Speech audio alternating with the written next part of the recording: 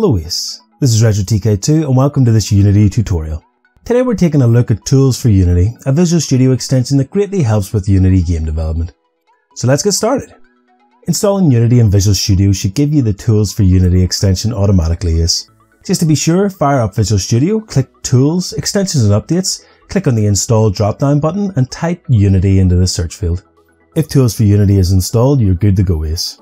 If for whatever reason it didn't install, click the online drop-down button and type Unity into the search field.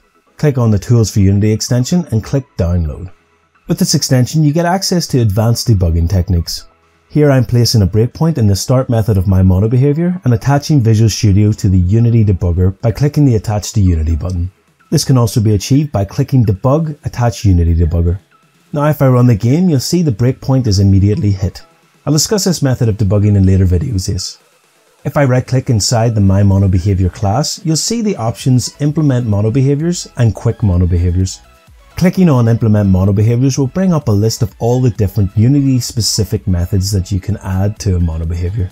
If I click the checkbox beside all the methods I want and click OK, you'll see the methods get generated automatically with the correct signatures.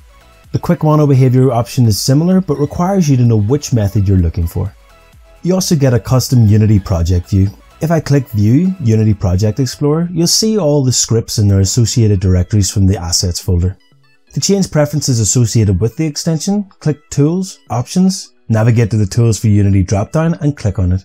From here you can change the mono behavior scope to private.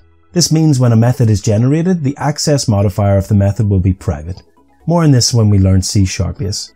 Other options such as automatic class renaming may be of some benefit to you Ace, but since I use ReSharper for renaming my scripts, I have little use for it.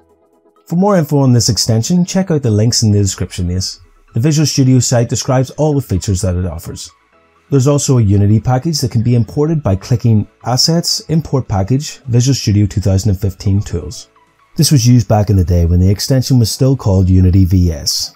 It contains a set of bridging DLLs for Visual Studio, but according to the Microsoft website, as of Unity 5.2, you no longer have to import the Visual Studio Tools Unity package into your projects, so it's no longer required Ace. Having this extension means you get the full benefit of Visual Studio with Unity. And that's it. Rate, comment and subscribe Ace. I love hearing your feedback. You can email me at retrotk2 at gmail.com with video suggestions.